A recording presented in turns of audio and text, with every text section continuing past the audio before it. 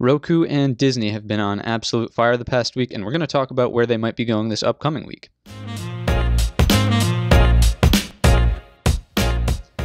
So, with the streaming wars, Disney Plus big announcement, as well as Apple just continuing to charge upwards, I think Roku has really been riding the coattails of those two big names uh, since it supports both of their services. So, we're going to look at this uh, in terms of supports and resistances as if this is the first time we've looked at the chart uh, and just really map things out and what might happen should start to present itself. So, starting on the daily time frame, we're going to mark off our all time high as usual. That is a point of resistance. So, up there at 176.55.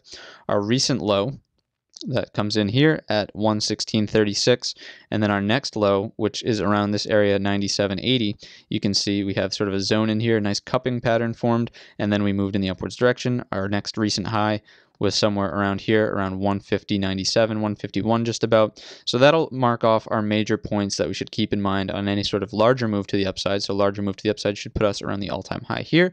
Any move to the downside, we're first checking in at our support point here now that we're above it at 151 uh, rather.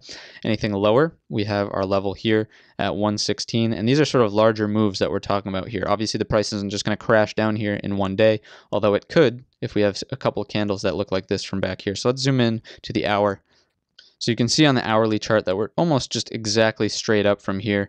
Uh, some nuance points that I do want to bring up occur back in this uh, section of the chart. So that's where we're sort of looking at this area. You can see we had a double bottom, almost triple bottom if you count this tail here. So this seems to me like an important level here at 137.69. You can see it's right where price sort of got hung up too on its move up. This to me indicates that this should offer some sort of support on a move back down through it. You can see our line from up here certainly is in this zone we could just make it a complete zone by doing something like that. You can see we had resistance here a couple times. So this would be a support zone on any sort of move back down through it between 151 and 148.50 just about based on some round numbers here. Let's break it down even further though. Let's go into the 15 minute. So this will give us a bit of a better idea of what to look out for when the market opens up on Monday. You can see that the price made a nice move up, and then it sort of just consolidated throughout the rest of the day, which is completely fine. It's healthy, but it wasn't a complete big move like we had here, where price was almost straight up, price was almost straight up, and then consolidated towards the end of the day. A lot of this was consolidation here. So what I would mark off is a zone here between 157.95, so 158, just about some of the highs in here um, from you know this consolidation phase, and then the lows. And we're going to wait to see what happens if we gap up above them, if we gap down below them, if we get, uh, you know, open in the middle. Are we going to break out to the upside? Are we going to break down to the downside? Um, that will sort of determine the direction of Roku earlier on in the morning. I think if we move to the downside, the 50 SMA on the 15 minute chart is certainly starting to move upwards and should offer some support should anything come down in here.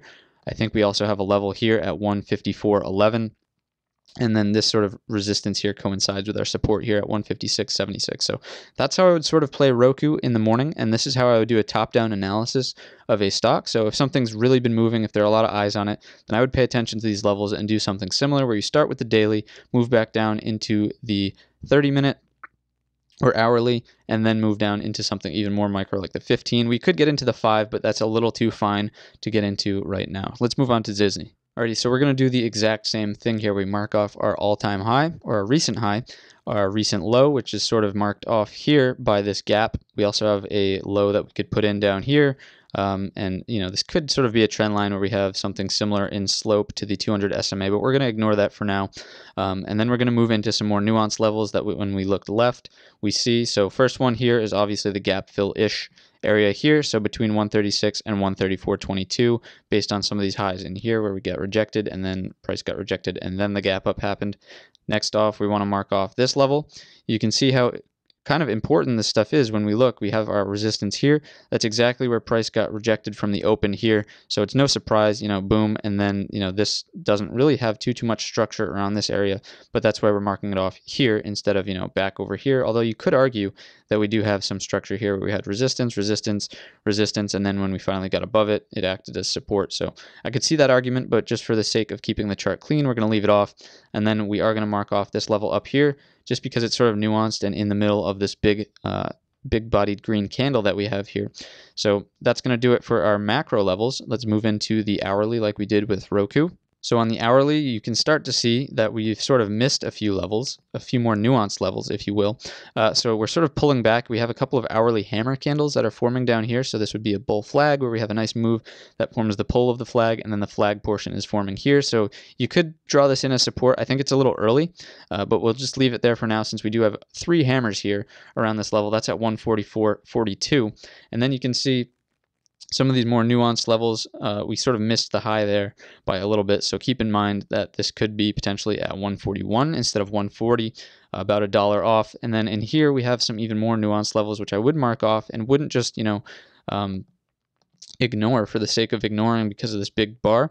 If we got back down into it and we see a continued pullback, then this could offer this zone here right around 139 uh, would certainly offer some bit of support. It offered some structure as resistance on the upside. Once we got through it on any sort of test from the top down, it should certainly act as support. We're going to zoom back down one more time into the 15 minute, see if we can see anything else that we've missed.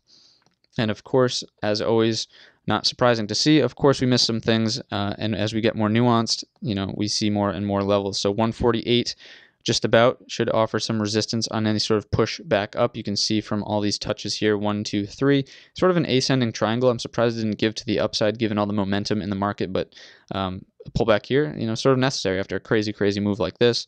Also, just keep in mind also the volume. Look at how big the volume was here on such a massive move up. Don't get your hopes up if things start to move in the upwards direction, but the volume isn't there. Uh, I wouldn't expect anything like what we had here on Wednesday to occur again unless the volume really surges in again. And I, you know, that's very unlikely that you have two of those scenarios in a such a close time frame. So keep that in mind. Um, yeah, I think this is sort of our key level here. Um, we are seeing a bit of a double tweezer bottom here, so keep that in mind as support on the downside as well. So that's at 142.56. Uh, and yeah, this is sort of how you go about analyzing from the top down, uh, you know, starting on the daily, working your way back down into the 15 minute and analyzing what might happen on the open here on Monday. Again, very similar to Roku, we have sort of a channeling consolidation here. If it breaks out or gaps up above 145.03, I would imagine that's a bullish signal, and we see a move back up into this uh, sort of resistance around 147. If we break down below 144.42, obviously we have things mapped out now at 142. Uh, yeah, 142.56, got confused there, 142 here, 142 on the cents there, uh, and then even lower at 140.14, 200 SMA on the 15 minute will start to catch up. So all these things to keep in mind, but I hope this helps and gives you some clarity and structure on what may happen this week on Disney and Roku.